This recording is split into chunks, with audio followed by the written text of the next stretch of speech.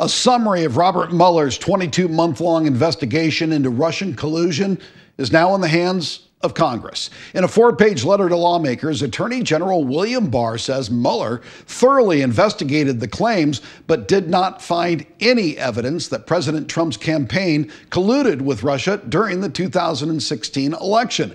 However, the investigation did find that there were two Russian organizations that attempted to influence the election, one through disinformation on social media, and the other involved hacking into computers and obtaining the emails of Hillary. Hillary Clinton and the Democratic National Committee.